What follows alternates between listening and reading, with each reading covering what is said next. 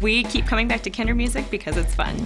They sing and they dance. It's just really exciting. You never know what you're going to get into every week. I like to play on the jumps. Kindermusik is amazing. Anytime we have music on, she starts to dance. He loves everything in Kindermusik classes. You get the musical terminology, how it connects into the child's brain development. My wife and I are both elementary school teachers. With budget cuts nowadays, it's hard to continue having music classes in schools. So this was just one of the outlets that we wanted to have for them. My favorite part is learning songs on the glockenspiel. Kids are allowed to be whoever they want to be. It's a great time for us to be together. Totally encourage it for everybody. Kindermusik class has absolutely changed our lives. I like Kindermusik.